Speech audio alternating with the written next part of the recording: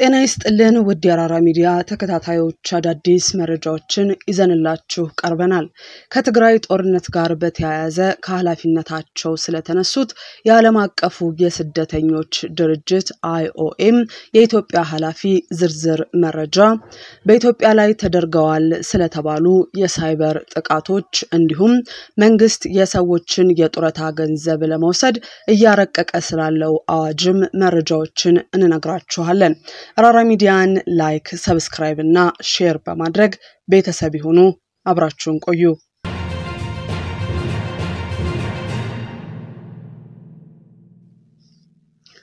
ከትግራይ ጦርነት ጋር በተያያዘ አስተያየት የሰጡት የአይኦኤም ኃላፊ እረፍት እንዲወጡ ተደረገ። የዓለም አቀፉ የስደተኞች ድርጅት አይኦኤም የኢትዮጵያ ኃላፊ የድርጅቱን እሴቶች የማያንጸባርቅ አስተያየት በመስጠታቸው ምክንያት አስተዳደራዊ እረፍት እንዲወጡ መደረጉን ተቋሙ ለቢቢሲ አስታውቋል።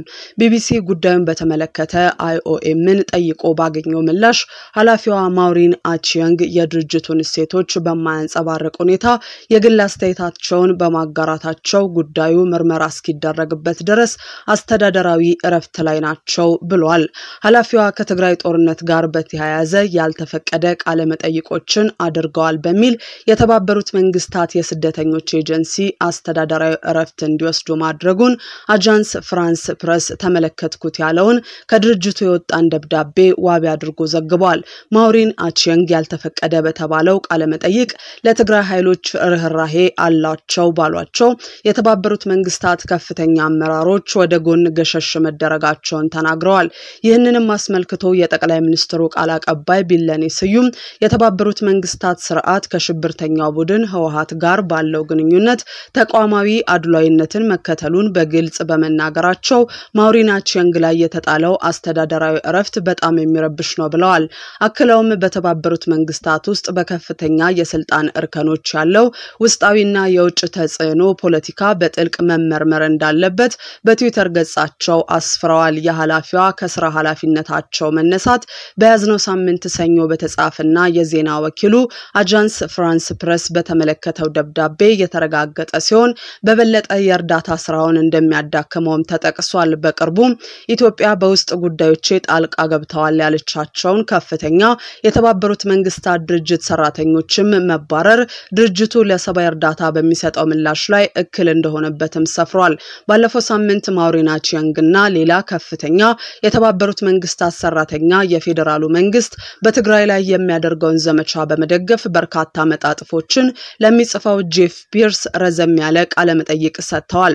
በቃለመጠይቁ ላይ እንደሚሰማው የዓለም አቀፉ የስደተኞች ድርጅት የኢትዮጵያ ኃላፊ ማውሪን ጦርነቱ ከተነሳ በኋላ አዲስ አበባ የገቡ የተባበሩት መንግስታት የስራ ባልደረቦቻቸውን በከፍተኛ ሁኔታ በመተቸት መሬት ላይ ያሉ የድርጅቱ ተወካዮችን አግልለዋል ብለዋል።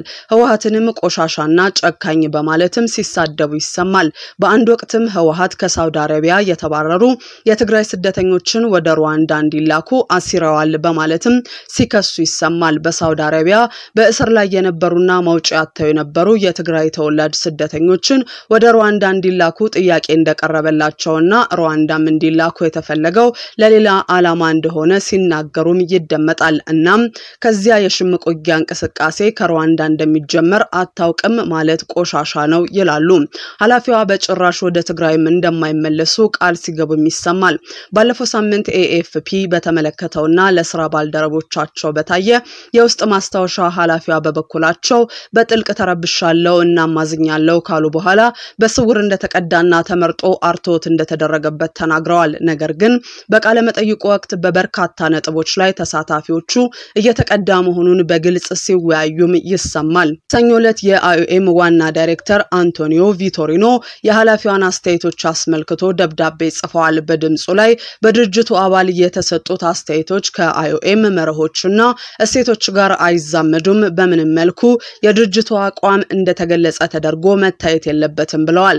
ደብዳቤው ማውሪን አቺየንግን በስም የማይጠቅስ ቢሆንም ምርመራው እስኪካሄድ ድረስ ወዲያውኑ እንደተጠሩ የቀሩና የአስተዳደር እረፍት ያደርጋሉ ተብሏል።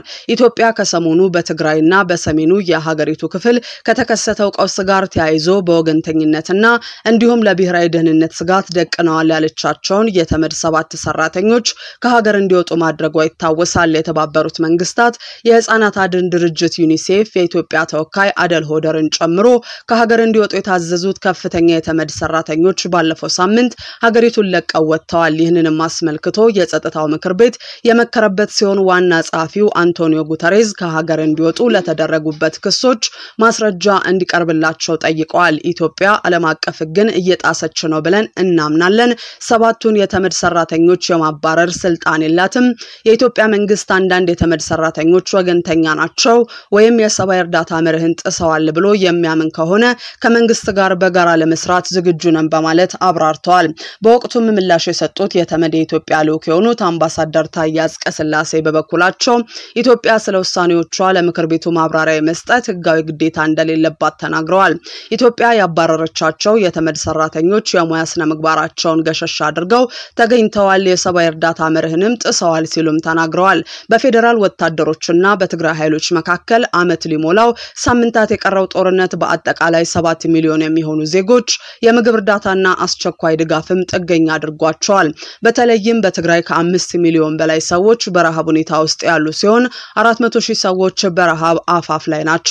በሀገሪቱ እየተከሰተ ያለው ቀውስ ከፍተኛ ቢሆንም የሚገባው እርዳታ በቂ እንዳልሆነና ለዚህም የመንገዶች መዘጋትና የእንቅስቃሴ ገደቦች ያሉ መሰናክሎችን የተባበሩት መንግስታት ድርጅት በተደጋጋሚ ሲጠቅስ መቆየቱ ይታወሳል።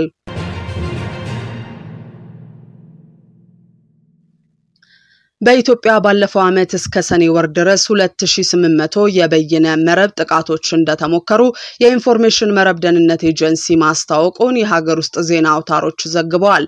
የተቋሙ ኃላፊ ሹመቴ ግዛው ይህን የተናገሩት ለአንድ ወር የሚቆይ የበይነ መረብ ደህንነት ግንዛቤ ማሳደጊያ መርሃ ግብር ባስጀመሩበት ወቅት ነው። ኃላፊው ለበይነ መረብ ጥቃቶች መጨመር እንደ ምክንያት የጠቀሱት የህዳሴ ግድብ ውሃ ሙሌትን፣ ሀገራዊን ምርጫና የትግራይን ጦርነት ነው።